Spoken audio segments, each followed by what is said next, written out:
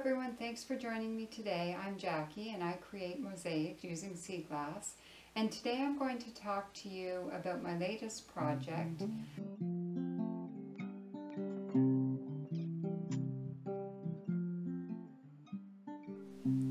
So whenever I start a new project, I start with a frame. And I like to use old frames. I like to recycle old frames.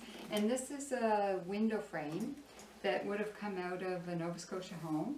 It was in really bad shape. I cleaned it up, sanded it all down, and uh, then I painted it because it was it was a little bit too ugly to leave it unpainted.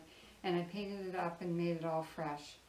So then I cut a piece of paper that size, and on that piece of paper, I drew my pattern. So my pattern's based on this picture that shows the scene along the shore, which is near my cottage, and this is where I find most of my sea glass. So what I've done here is I've taken that pattern that I drew and taped it to the back of the frame so that I can see through the frame and that's what I use to guide me in placing all the sea glass pieces. And you'll notice that on the pattern I've written some details. Um, I, here I just have sky, but I know in my mind that sky to me is always white, so I didn't write white on there. But the other parts of the pattern, I wrote what it was and what color I intended to be. So here I have grass, tiny green, here I've got green. Here I've got large green because it's more in the foreground. Um, this is the cape, so I have medium brown here. And I kind of have some numbers here just to show that I want to have a little bit more detail. I have sand, small brown. And here I have, this is the cape, so it's all brown, but I've written here large here, medium to large. Will be smaller in here. And then I've got rocks written there, I just put a few notes there that I like a few seagulls on the sand because this is all sand, which would all be brown. Um, and uh, I've added some few a few notes here, like I just wrote footsteps. But I know that I'm going to add some more details just to have some stuff happening here down on the beach. And all of this area in here is water, and so I know that that's going to be green. So that's my pattern.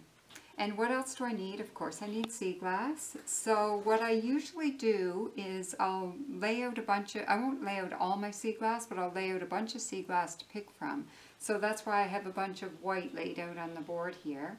Um, but I've also got extra jars of white. Um, but the, I just bring out a few jars just to have them on hand. I've got a jar of milk white glass. I've got a couple of jars of green. I've got a jar of brown.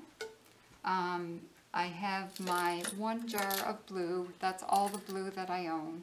I'm hoping to collect some more this summer for sure. I've got a jar of pebbles and rocks because I know I'm going to put some rocks in on the beach and the Cape. And I've got some aqua blue and I've also got some pottery because I know I'm going to use some of that in it as well.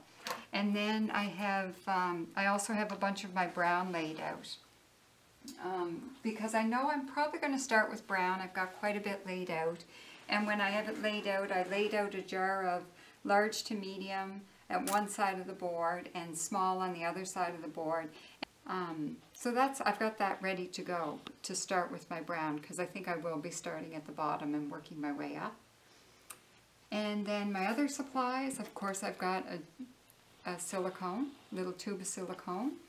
I have a couple of my mosaic tools to help me pick up the small pieces or poke around with things. And then I always use, like I have the barbecue skewers that will help me when I want to clean up messy sea glass. And I've got the little tiny ones for really tiny fine spots. And of course a paper towel to wipe off any of the extra silicones just to keep it from being messy. And that's about all that I need. I'm ready to get going. The only other thing that I usually like to do when I'm starting a piece, I'll go through a bunch of my special pieces and I'll find, oh, what are some little details that I know I'm going to want. So when I went looking, I decided I'd like to have, I found this piece that I might use in the sky as a sun and maybe to focus me a little bit on doing my sky. I also, I had written on my pattern that I wanted a fishing boat, but then I kind of changed my mind and I found a few pieces to make a nice sailboat that I'm going to put out in the water. So I grabbed those, and this is a piece of driftwood, a couple of pieces of milk glass, a piece of aqua sea glass that kind of makes a cool little sailboat. And I found a rock that I'd like to put down here, and I might put a couple of people sitting on the rock looking out on the scene at the beach. And I also found a few shells that I'm probably going to include. I really like these tiny little shells. I'll probably include a few of those. So sometimes I just lay those out of my glass knowing that eventually they're going to find their way into the piece. I had a few red rocks here that I quite like, so probably going to put those on there to include. So that gives me a little bit of a start. What uh, I'm probably going to start with is figuring out what are some of my nice large brown pieces that I might lay out here. Um, you know, I usually just lay out a few pieces to get a bit of an idea where I'm going. And then once I have some laid out, I'll glue on before I go too far. But some of those special things, like the sailboat, will probably sit there unglued until I get to the water. And then when I'm gluing on a lot of the green pieces for the water, I'll fit the sailboat in there. And I guess that's all I have to show you for today. And I'll go ahead, when I check in with you next, I'm going to have some of it done and we can talk about where to go from there. So I've gotten quite a bit of work done since the last time I had talked to you about this piece. This is Walking Along the Shore. And for this one, I wanted to have dark, bigger pieces of brown along the bottom and then they get kind of smaller as you go up the beach. And as you can see, I used bigger pieces here because this is where the cape is. And my idea is that with the bigger, darker pieces, you get that feeling that this is the side of the cape. And then the smaller pieces are the beach. And then out here, this is this other part of the cape, which tends, it's starting to get a little bit lighter and a little bit smaller pieces, but it still is distinct from the sand. And uh, what I did here, I wanted to put footsteps along the sand. So I used brown pieces to, that gradually got smaller and had footsteps. So it gives you that feeling of walking along the sand. And then I had two people sitting on a rock here. And I had two turtles, like a mother turtle and a baby turtle. And then I put some rocks in there, rocks and pebbles, just to add a bit of interest, and a few shells. So now what to do next? I'm trying to decide, I know I want to have a green grass on top of the cape here, and I want to fill in the water green. I haven't glued on my boat yet. I'm going to wait till I get the water filled in. So I have all my green on a board here, and then I have it all, I don't have all my green. This is a very small bit of my green, but I have some spread out here, and then I'm going to use that to try and figure out, okay, what am I going to, what am I going to find that's going to fit? So I know I want to start a little bit bigger and then get smaller as I get more towards the top here.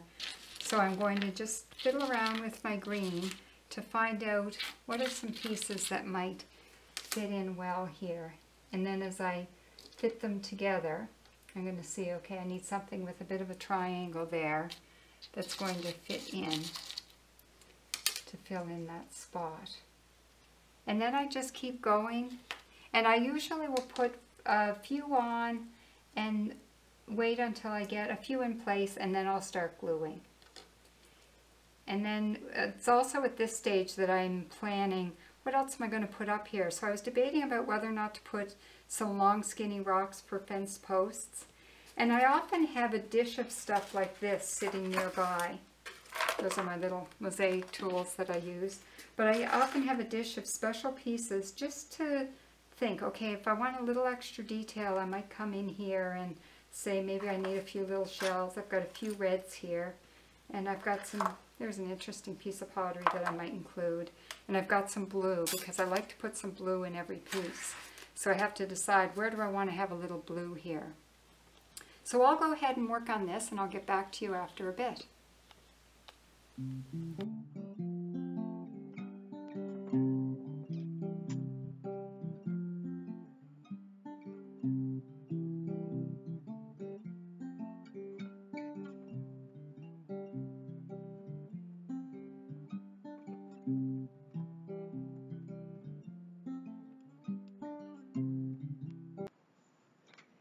So I filled in the grass above the cape with green and after auditioning a number of rocks for the fence posts I landed on these three long skinny rocks that I thought made kind of unique fence posts.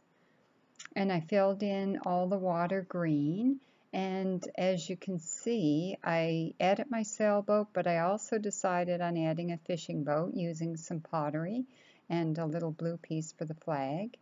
And here's the sailboat I had been planning on using, and I added a red piece for a flag on that one.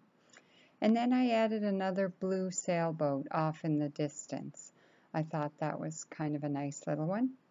And up in the sky I added some blue pieces that make really nice herons, because I love herons.